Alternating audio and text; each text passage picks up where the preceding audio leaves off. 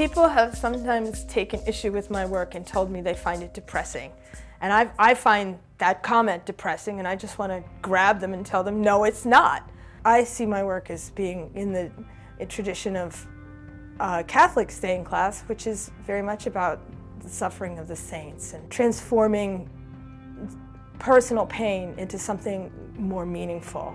The abbot Suger, who was the architect and abbot of Saint Denis outside of Paris, the uh, cathedral there, he said that stained glass was enlightenment embodied. And the fact that the church really capitalized on it and made made it's not even a metaphorical experience it's a primary experience of enlightenment when when you see those images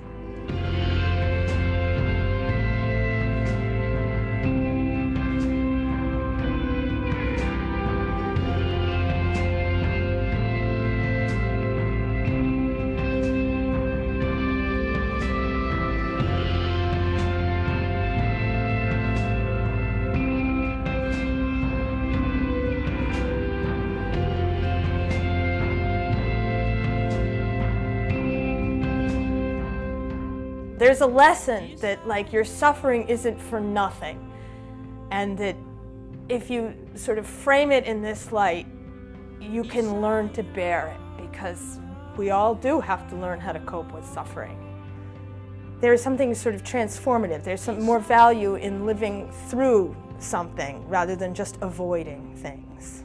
I hope that my work creates empathy for the characters that I make, and I think anything that makes empathy is positive contribution. What people see in the work is the image and not the design and not the transition. They see depressing signifiers and they don't see any transformation.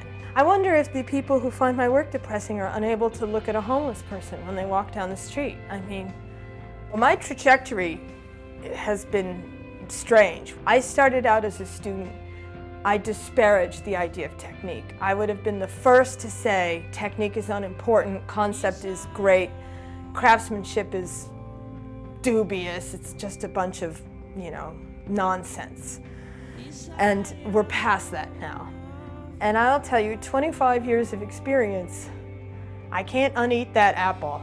A lot of times when people see it, they imagine that it's painted and it's really mostly engraved. So here's the bird. This is a bird, even though it looks kind of freaky, like a fish or a flower. And it's here's the two layers of glass, and I have marked it with a magic marker, so I know kind of where I'm going. I'm proud of the fact that I'm a really good technician, and I'm, I'm pleased that I've, if I can say this without sounding too horribly arrogant, but that I've become a virtuoso of sorts. I've just dedicated myself to doing this every day for 25 years. That's what happens.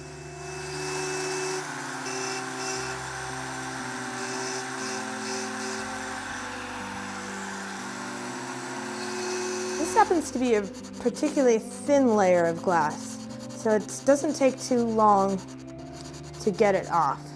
I don't know why other people haven't thought about filing into it, but I will say I think it's changed the way I express myself. It's informed the way I, I make the work and what I have to say in the work. People haven't thought of stained glass as a medium that is innovatable. I made a conscious decision when I went with a commercial gallery for the first time in 1990 that my work had to be made better because I was secretly embarrassed that my work was made poorly. I, I had a lot of bravado, but it wasn't for real. I think it's embarrassing to be selling things to people that aren't made well. So they're made well. The, the piece, The Cold Genius, uh, derives specifically from the face of the character in the piece, which is a female face that I had drawn separate from the idea months before. That face to me was, was so sublime. I loved it so much. I just couldn't not do it right. So I took the piece apart and made it the same image, only correctly. I had drawn the face and I draw millions of faces. I doodle a lot while I'm on the phone, while I'm uh, in faculty meetings, and uh, mostly I draw faces. So it takes um, a very a perfect face to attract me, to make me want to work more. I have to have an emotional attachment to it. All my pieces arise organically from doodles.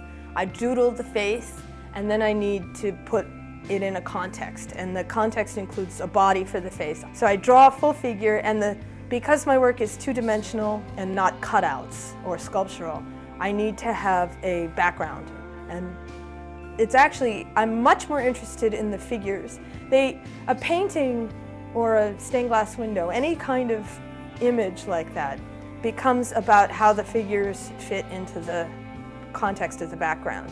So the pieces grow organically from a face to a body to a background and then ultimately, hopefully, to some sort of meaning in someone's imagination.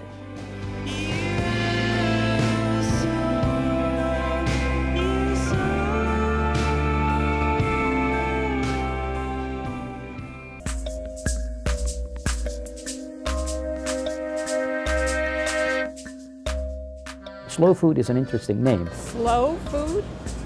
Food that's cooked slowly? I, I don't think I could be a part of a movement where you had to eat slowly since I enjoy eating so much that I like to do it fast.